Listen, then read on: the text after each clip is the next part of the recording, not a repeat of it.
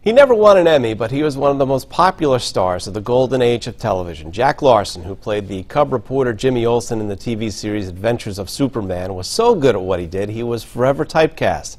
And so after the series ended, he changed careers and became a playwright and producer. But he said no matter what he did, he would always be remembered for his iconic role as Jimmy Olsen, and he had no regrets.